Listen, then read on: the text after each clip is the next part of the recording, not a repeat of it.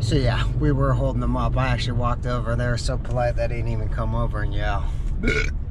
or at least ask, hey man, like we're trying to get home. They didn't even come over, just sitting there waiting. Well, now it's 12.30 the following day. I'm in Fremont, Indiana.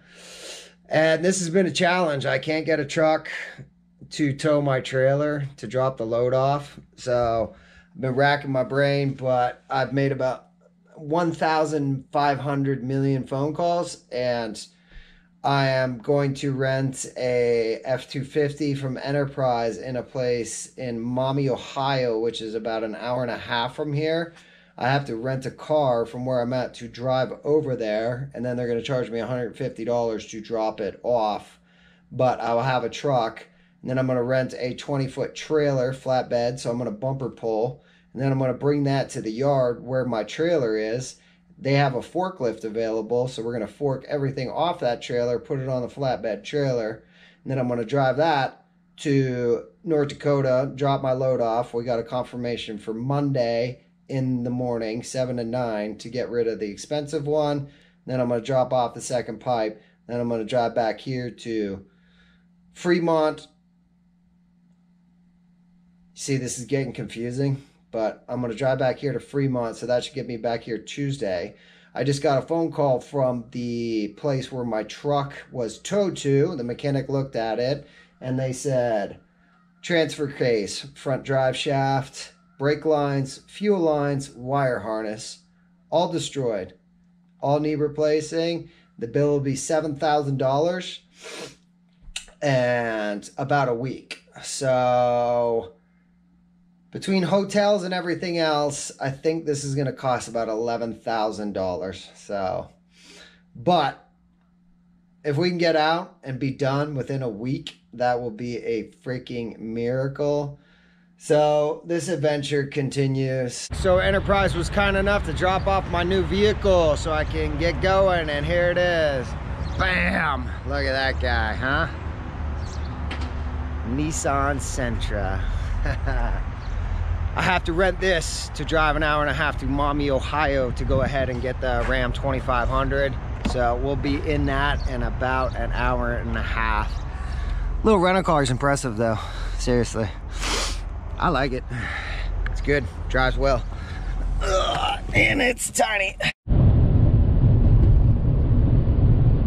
What I was saying about this little car being impressive, like look at the interior. It's got driver assist and everything and it's getting almost 40 miles to the gallon at 80 miles an hour on the highway. I put in 15 bucks because I had to bring it back at a quarter of a tank.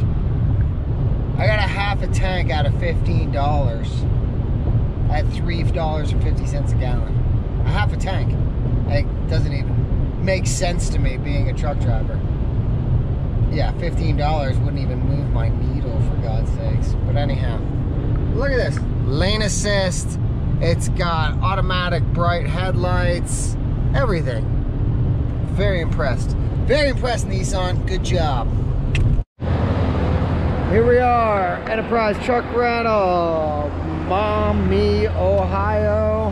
And here's my Ram 2021. Gray, I like the color.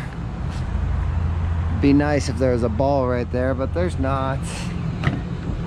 The seat doesn't fold down, so I don't know how I am gonna sleep in that. I'm six feet tall. But all in all, it's a nice truck, so. Time to go get our flatbed trailer. There, just coming by to get all my paperwork, get the BOLs for the load I'm delivering, and uh, yeah, grab a couple more things out of here. I'm doing my laundry, so I might as well do it all at the hotel. But apparently they've already got the transfer case and the drive shaft delivered. So this has been two days since the explosion happened. So not even 48 hours, if my math is correct. But see if we can see in here a little better. So there's, okay, so that's the front U-joint. That's hanging off right there. And I don't know if we can get in there and see. I'm not gonna crawl around the dirt to get under, under there right now but uh, So I don't know if that's what separated the.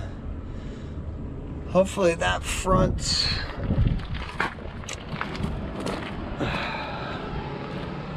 Yeah, I can't get under there right now, so it is what it is. Yeah, whatever. So yeah, I'm just grabbing some things out of here and we're heading to go pick up that trailer right now, the 20 footer. Insurance is all done, so everything's working out. We'll, we'll be on the road tomorrow heading to North Dakota. And it looks like we got a load coming back, little Bobcat, so that's good news also. But yeah, after being in that little 2500 i got a newfound respect for the amount of space and luxuries i have in this bad boy holy moly. Yeah this is like a condo. So the adventure continues. Here's the trailer. It's beautiful Diamond C. It's got nice rub rails for hooking hook lots of hook points and it has a two inch receiver. This is two and a half, so I had to go buy this. I come back and the ball, the hitch that they have, doesn't have enough drop. So this trailer would have been riding at a huge angle. So the gentleman that works here actually had to go up to the store to buy something that'll fit on this. How about that? You can adjust the neck on this thing. Hey man, I just noticed you can adjust the neck on this thing. If we put that up there, we would have been fine.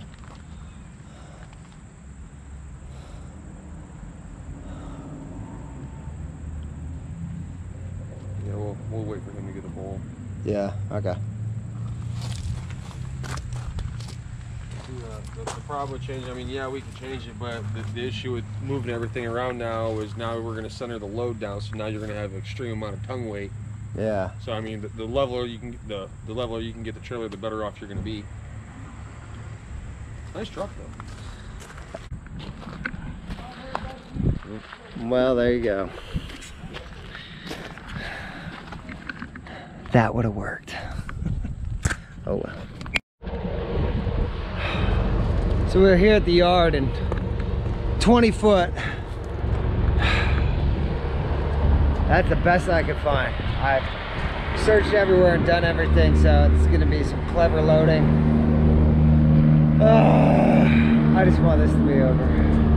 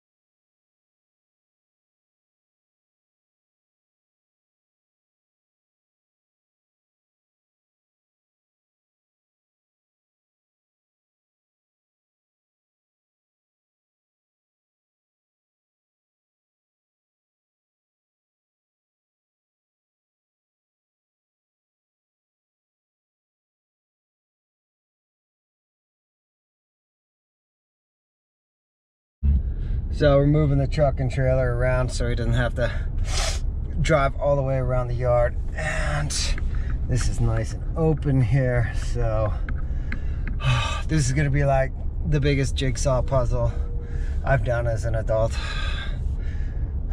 Not that I've done a lot of jigsaw puzzles as an adult.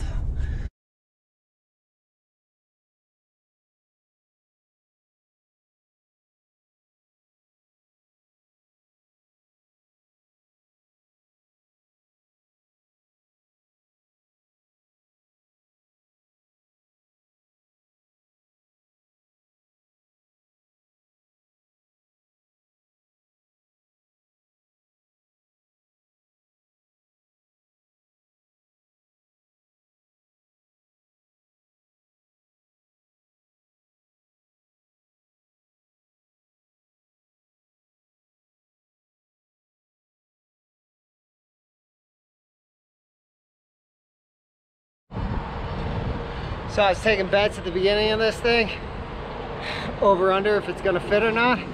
And I was betting it wasn't gonna fit. But this plan, look at this. We got one pallet coming. It's gonna go right in this open section right here. That's exactly 40 by 48. And then we just got all these small pieces of pipe sit on top and we're done. But more good news. They're actually gonna let me unhitch this and just leave it in the yard so I don't have to uh, back it into the parking lot because the parking lot at the hotel has been kind of full. So yeah, we just got the forklift ran out of propane. I was like, come on, man. It took three, it took two hours to get the trailer hooked up because they didn't have the right ball hitch, like I said. So, but look at this. Deck cleared. We just got to slap a couple pieces of those metal piping on.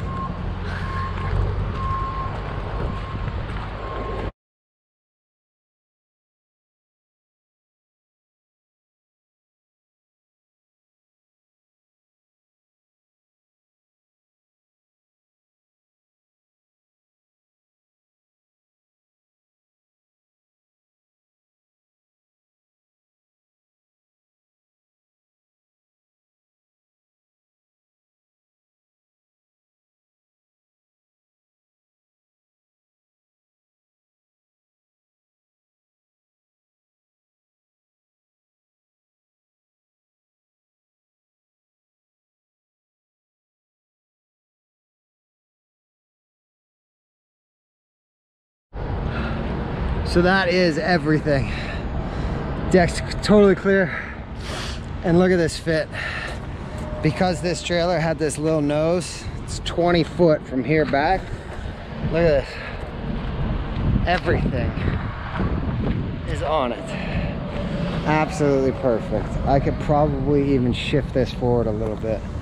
But I'm gonna get my tarp tucked on this side, wrapped around, folded up in here, bungee, bungee, bungee. Utilize every strap I got and we're good to go. Uh, I don't know if you saw that, but they got me a Sawzall. So I'm just cutting off the dunnage, right? Because, well, the plates were already on it to hold the pipe. So I just put the dunnage on right there and stuck over. And this trailer is only freaking like, I don't know, eight feet wide, not even eight feet wide. So tight fit, but we got it.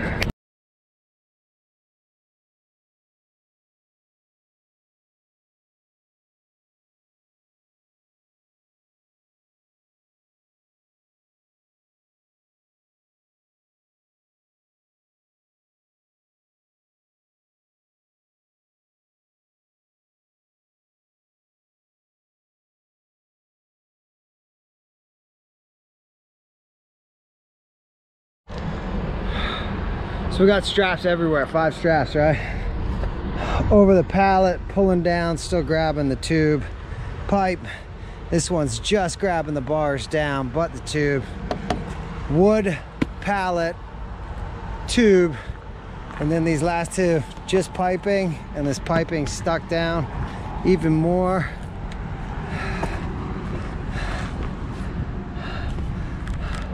This is more secure than when it left Pennsylvania. it's now like 5.30, so I gotta hurry up so these guys can get out of here.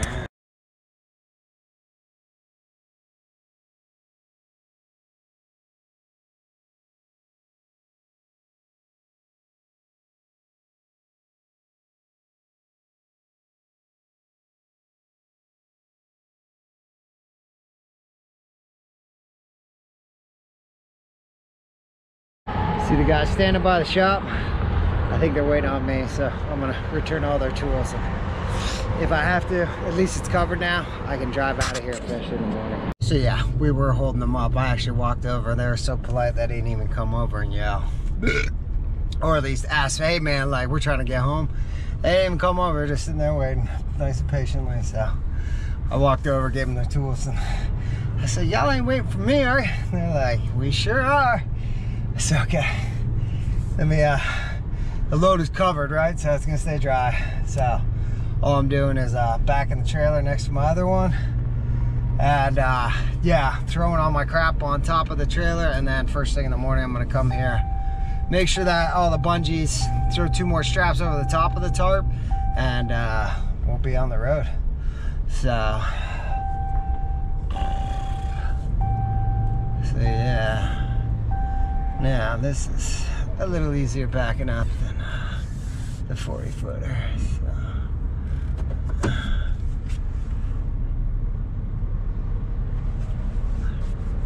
Ooh, look how quickly that thing turns. Holy moly. Jesus. Okay. I forgot how to drive a regular trailer.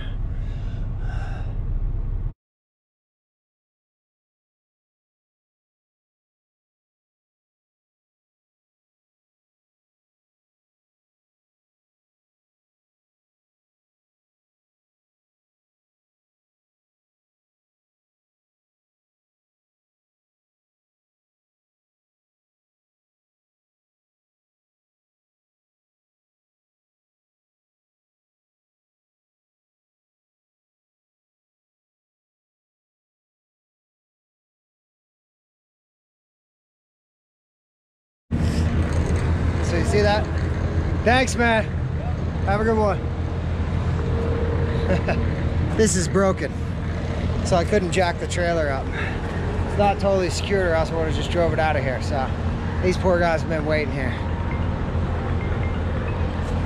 Like, serious, every fucking day. Every fucking day.